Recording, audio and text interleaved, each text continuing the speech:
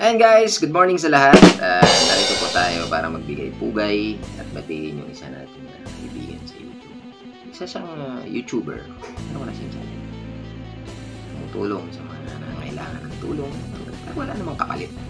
Uh, napakalayo niya. Sa ibang bansa siya. Pero yung tulong niya umaabot dito sa Yan siya. Yan si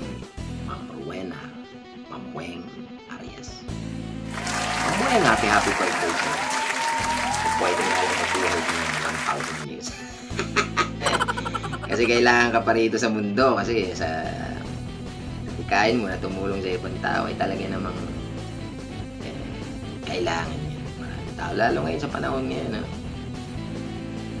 Si Ma'am Weng ay isa sa mga YouTubers pero wala naman channel. Ano? Tumutulong siya. Tumutulong siya sa mga YouTubers sa kagaya ko. Mga YouTubers nagpi-play, nagsasab. Nandoon siya palagi, sumusuporta sa mga LS.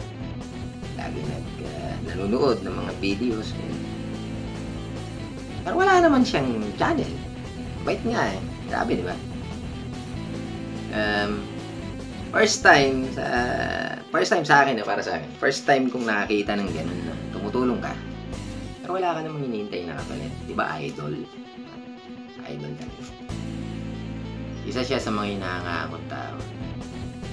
Hindi naman kahanga-hanga yung gawa. Saludo ako sa. At dahil birthday mo, kung magandang masaya ang birthday mo,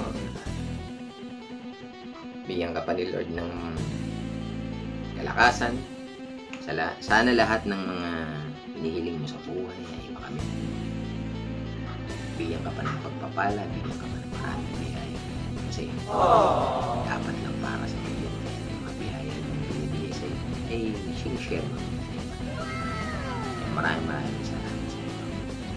Sana magpatuloy mo lang yung inyong gawain. Uh, hindi man kami, o yung ibang mga tinutulungan ang magbabayad o magbabalik para sa iyo.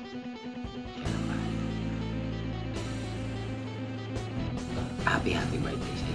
Mapapahaba ito. Yan pa tayo. Ang white, happy happy birthday. Happy birthday, Ma'am